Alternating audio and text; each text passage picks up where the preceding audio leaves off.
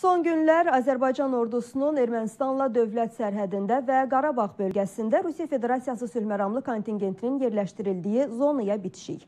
Eləcə də işğaldan azad edilən ərazilərdə hərbi xidmət keçən hərbiçilərin maaşlarının aşağı olması cəmiyyətdə ajiotaj yaratmışdı. Artıq bu məsələ həllini tapdı. Maaşlar bəzi yerlərdə 100, bəzi yerlərdə isə 50% artırıldı. Bu artımın kimlərə şamil olunacağı ilə bağlı əməkdaşlarımız araşdırma aparıb, ətraflı süjetdə. Müdafiə Nazirliyi tərəfindən hərbiçilərimizin maaşlarına 50 və 100 faizli əlavələrin edilməsi ötən gün təsdiqləndi. Məsələ ilə bağlı Müdafiə Nazirliyi ilə əlaqə saxladıq. Qurumdan şifahi olaraq bildirildi ki, bu maaş artımı qərarı deyil, sadəcə xidməti yer və şəraitlə əlaqədar əmək haqlarına əlavələrin olunmasıdır. İlk öncən e, Azərbaycan ordusunun hissə və birliklərinin yerləşdiyi ərazilər nəzərə alınacaq.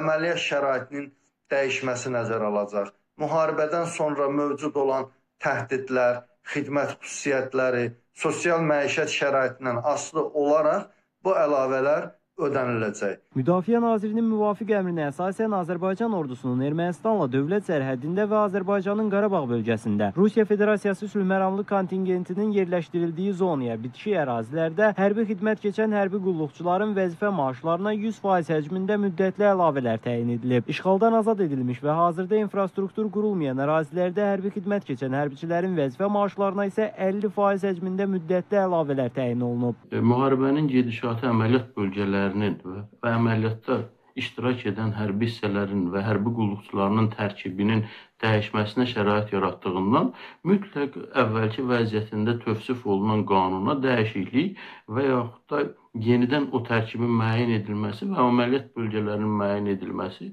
yarandı. Müdafiə Nazirinin hərbi qulluqçuların vəzifə maaşlarına müddətli əlavələr müəyyən etməsinə dair əmri cari ilin yanvar və fevral ayları üçün də ödəniləcək pul təminatına şamil ediləcək. Bu iki qat maaş adətən təmas xəttində olan xidmət edən hərbi qulluqçulara şamil edilirdi. Bu 44 günlük müharibə ərzində əvvəlki nəzərdə tutan paritetin həcmi dəyişdi. Ekspertlər bildirdi ki, erməni təhdidi aradan qalxana dək hərbiçilərimiz bu yardımı almaqda davam edəcək. Kamal Hüseynli Space xəbər.